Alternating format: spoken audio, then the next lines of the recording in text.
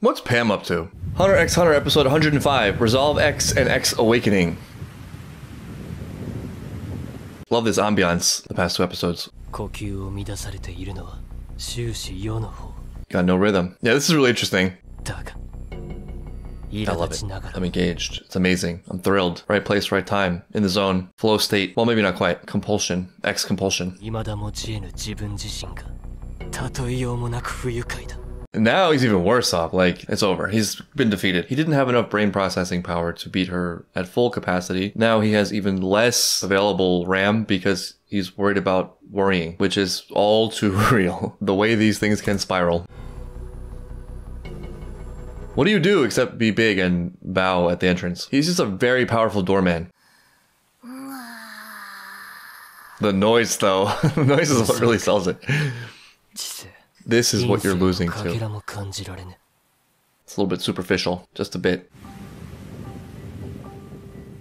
At this point, I don't know. It's what do you even want if you're the king? Do you want to win or do you want to lose? It's not even about the game anymore. It's about himself. It's his worldview at stake, which in a very real way, I think, is himself at stake. I was thinking about this today in relation to being okay saying you don't know something. I think at best, like optimal conditions, a person will truly be at a masterful level of like a couple things. There's just way too much time required to be at the top level of something for there to be more than that. Unless you're just like one in a billion. You can be decent. You can be fairly good at a great number of things because getting from the nothing level to the decent level is way faster and easier than getting from the decent level to the perfection level. But in the course of daily life, we encounter just so many things, so many different fields and topics. Yet the way people talk and the way they express their knowledge does not match this discrepancy. For most things, the answer is probably we don't know well, but we all know well, or at least we think we do. I've come to believe there are sort of like these these slots, these topic slots for belief, and without really conscious, dedicated work, they will be filled with something, and that something will probably feel like it's the best thing. Come to think of it, this might be specifically for things for which there was some urgent need in our biological history. So social things, anything that presents a danger, how to live one's life, etc. And that relates to my guess as to why this is, which is that it literally at some point was for survival. So a challenge to a worldview, a challenge to something in, in a belief slot gets treated emotionally as a threat because we're wired with this underlying assumption that without something in a belief slot on a topic that's important, we are at great risk of destruction, which is kind of cool to think about and know because I'm always going to like it to find out I can eliminate things that I don't need to devote energy to. As a side note, looping into this is another emotional incentive, which is to believe you have influence over the things you're worrying about, which many times you don't. この曲何かかけるか賭けですか Just based on what I know about her, feel about her, I don't think it will make any difference. Her wish is probably going to be to play more Gungi, another game of Gungi. I would like to play Gungi, maybe a tissue.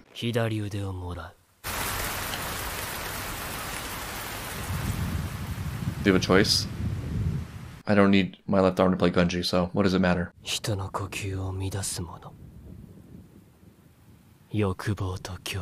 Is this not a concession of loss, though? It's not about Gungi. From this, it seems like he's still not seeing this as an intellectual pursuit or something he can learn, but more of wanting to be the best and dominate her, because the wager does not really relate to Gungi's skill.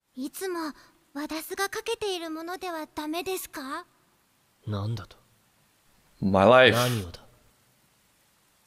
命です。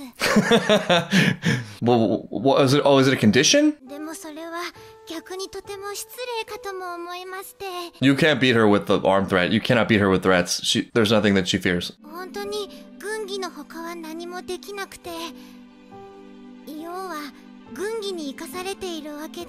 Bro, you can still play Gungi if you lose. Is this a similarity she has with him? Best at Gungi or nothing else? トーナメント The grind. 戦で優勝せねばなりません Burning Fields. うちは12人家族でワダスが今稼ぎ頭ですが一度でも負けたら家族で一番の足手まといになるのです That doesn't really add up, but okay. ワダスは負けたらゴミなんです Harsh. 親にずっと言われてきたことですから oh no! Don't give them any money.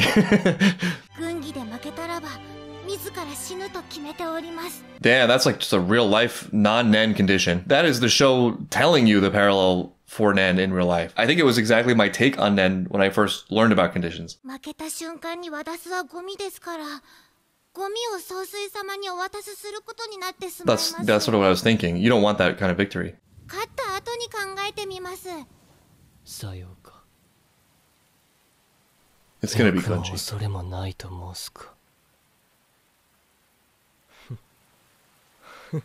Maybe this is the answer. 世の命を想定していなかったおお黙っておれ総帥様のいえめめめそうもございません I also don't think the king making a wager on his life would be the same thing as her being okay with a wager on her life. Accepting a bet to try to force yourself into the mind state doesn't mean you've achieved the mind state. 賭けはやめだくだらぬ真似をした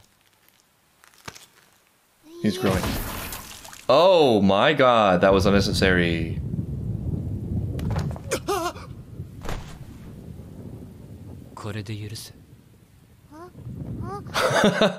I don't want it. I did not want it, but okay. Everyone lost their arms that day. Oh, that a rip off his own arm. You give it to him. this is the greatest thing that's happened so far on Gon and Killua's side in the war, on the human side of the ant war. That left arm was more powerful than like 95% of Nen society. And they have no idea.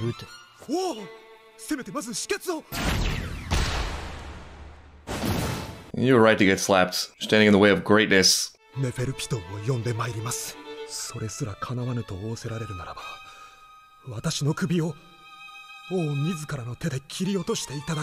Bro, they're just undoing themselves. this poor girl. It's so cool. Don't make wages you don't want to accept.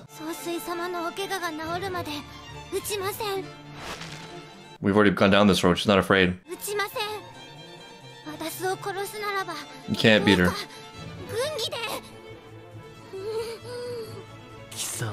Oh god, you're so you're annihilated. It's so embarrassing. He.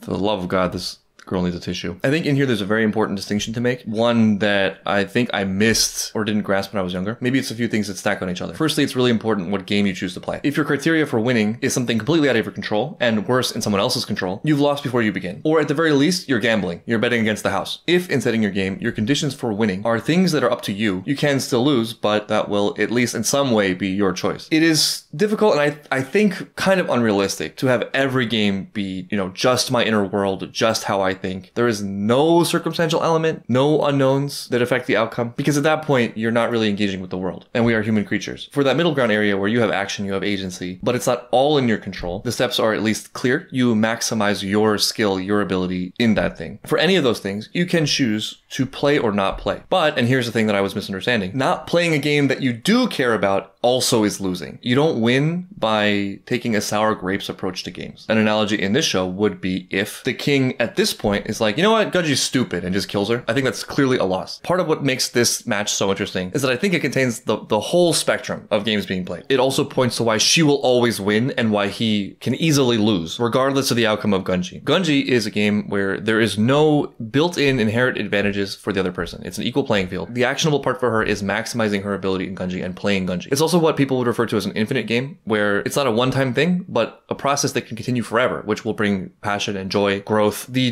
doing of the thing itself is the goal. Much like how that would be the case for someone whose goal is and takes pleasure in personal growth. She can lose at Gungi, but she already understands and accepts the consequences of that. There's no fear there. So in the bigger sense, in, in a way, it's not exactly a loss. It would be just a consequence that follows logically and is accepted emotionally. It's a closed system that needs nothing outside of her control. The King's game, while he's also playing Gungi, is something like being and being acknowledged as being superior and higher value than every other human or animal on the planet, which is automatically a failure because one's value is probably not something the king can decide. This is why the sour grapes thing is so important. You could change your thinking about what valuable means. You can skew the, the characteristics or criteria arbitrarily to make anything look real, but like you know there's actually an objective layer to it that you can't change. So it'll always be unsatisfying, and that's a loss. In this episode, he actually tries to weasel out of it a bit by trying to switch it to like fear and respect, but because she's self-contained, that's not something he can force out of her. And so again, instant loss. To try to make this a little bit less abstract and more practical, it will probably come down to axioms that are really obvious to hear, but are easily forgotten in practice. So like one of the best, most enduring games you can play is to endeavor to live up to your own ideals. Don't make your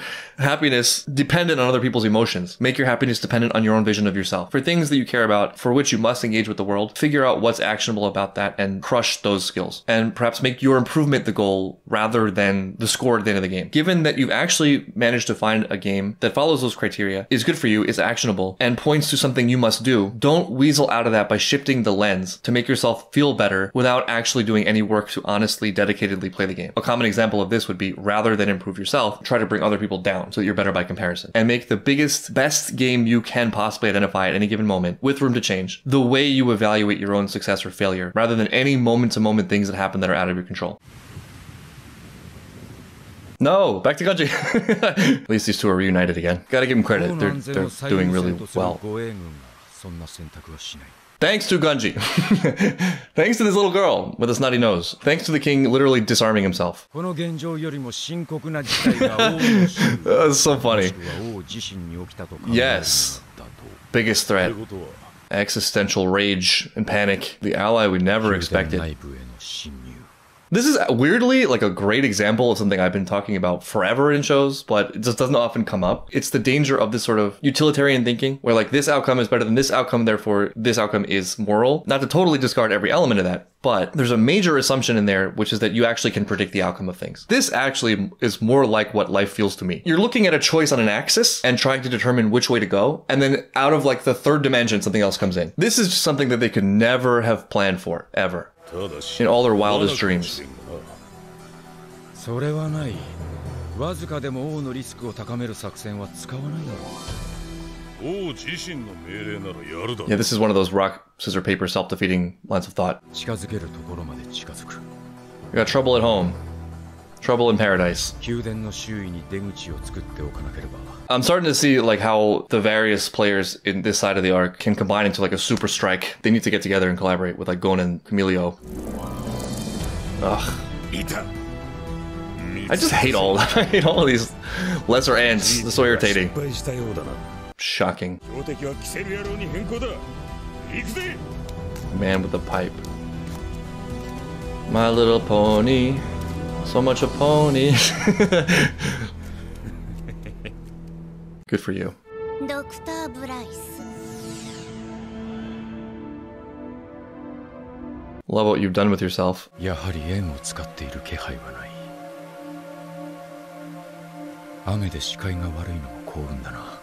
Man, these guys have steely resolves. Imagine the absolute fear just being solo running towards this capital, this palace. 敵に出口の前で待ち伏せでもされたら絶対絶命 That's why they built all that up.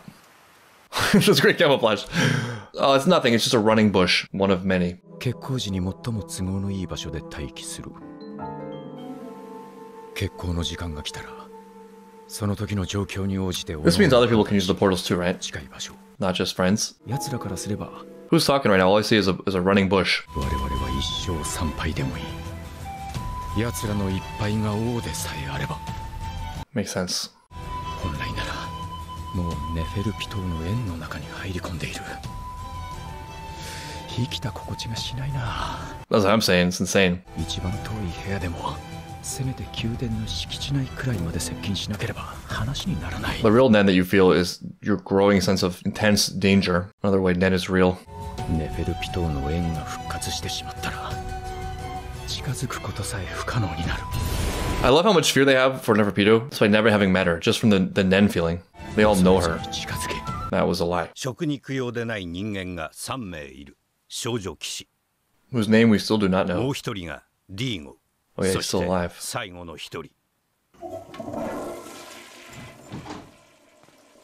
The lawyer. Okay. 実質この国を牛耳っていた裏の総帥である Oh, for real? 彼を通さねば進まない This lends itself so naturally to one of those memes. What my friends think I do, what I actually do. Glorious leader in a dim room sending faxes. 代わりがいないとの理由から人間で唯一王の側近として許された人物である Another life lesson. If you're gonna play this kind of game, make yourself indispensable. 能力者の前では普通の兵士など全く無力であり Boy, did we ever learn that in the York New City arc. ノブには知る術もないが 彼が There's a lot 単独 now で doesn't 侵 know. 入するという点において今が最大最後の好機なのであるなんとか生き延びたはいいが Thanks, thanks to your talent in faxing.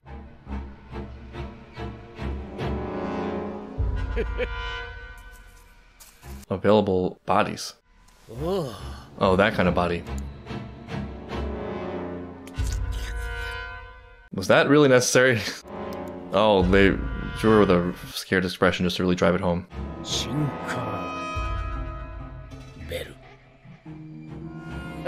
Thinker Thinker Bell? This is eHarmony North Korea edition.